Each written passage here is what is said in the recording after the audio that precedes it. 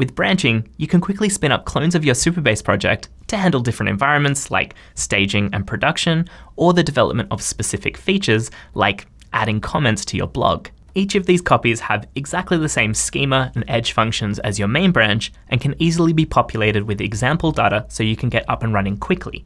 Previously, this could only be done using our official GitHub integration, but today we're opening it up for anyone to be able to manage these branches directly from the dashboard.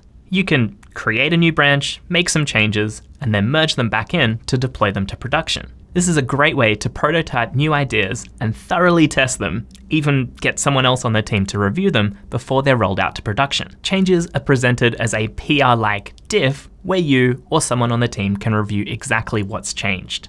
It will also detect when your branch is out of date and allow you to pull in those changes before merging.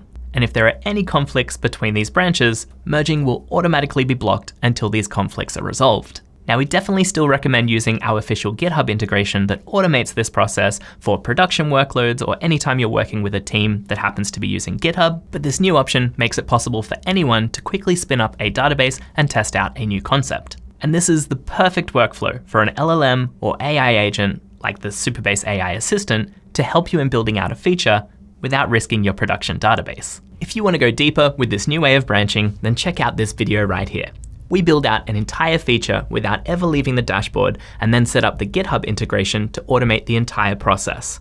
But until next time, keep building cool stuff.